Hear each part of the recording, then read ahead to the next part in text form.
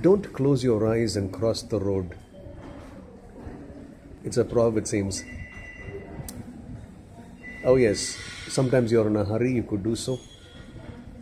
Sometimes you're forgetful, you could do so. Sometimes in your arrogance, you could do so.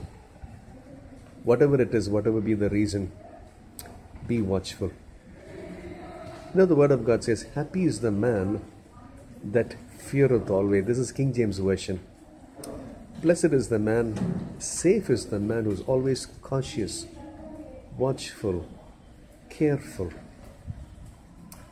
not arrogant, forgetful, and hasty.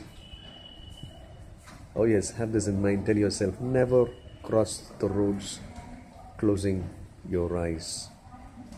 You could be hit, you could be killed, and it's not worth it. God has given you eyes, keep it open. God has given you wisdom and grace, a sense of wisdom, prudence, and caution. Use it, avail it.